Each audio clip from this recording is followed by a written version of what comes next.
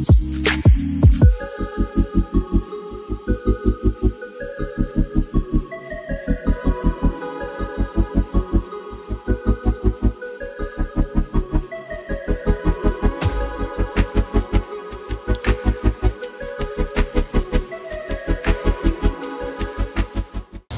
right, so we just got back from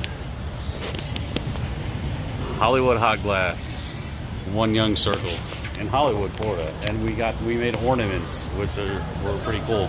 It's a pretty cool experience, and I think right now we're in a loading dock. Wait, where are we? We went out. I thought this was an okay way. Yeah, I don't know. But- of the building. Yeah, we we went down the wrong way. There's a guy over here sweeping or doing something. I don't know what's going on, but we did He's waving to us. Hey, how's it going? He wants to get on. He's like, oh, these crazy people, social media people, always doing videos. But we pick it up tomorrow. Well, not tomorrow, but they're closed tomorrow. But they we pick it up Monday or whatever, and then that's it. Or hike back to the car, or we could go to this little Publix over here Yeah. and pick up food.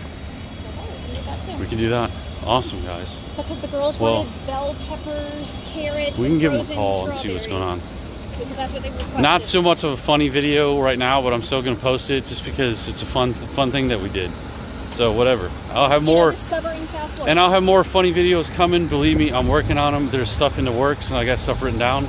So uh, if you like the video, click the subscribe button and uh, notification bell.